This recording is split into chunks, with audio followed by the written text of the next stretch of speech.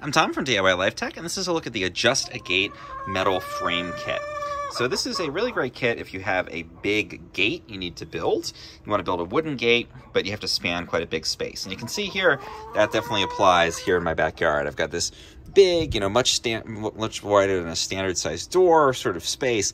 And if I built a gate here um, it was totally made out of wood, then it would sort of start to sag over time um, and it would probably break. And in fact, that's exactly what happened to the previous gate that was here. And so the, the uh, adjust a frame uh, kit allows you to basically create a steel frame that's providing the majority of the support for the gate and then build your wooden gate around it. And so the wood is there, you know, mostly to be sturdy and decorative and classic, but the actual weight is being supported primarily by that metal frame. And again, it allows you to span this much larger space without the risk that over time the weight of this gate is going to cause the wood to sort of break and buckle. Um, and so it adds that rigidity, it adds that strength.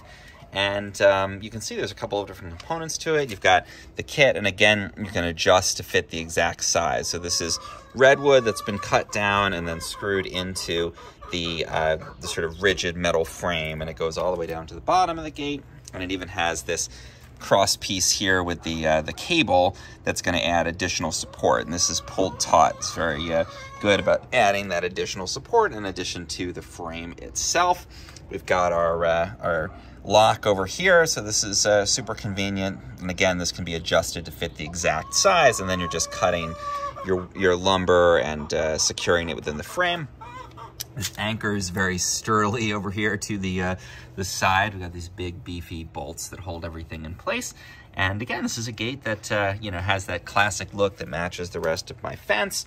It's got that beautiful redwood lumber on there that's uh, custom cut to accommodate the size of the frame. Um, but with that rigid metal piece as well as the kind of truss supporting things uh, along here, this is a gate that should last for many, many years and remain nice and strong.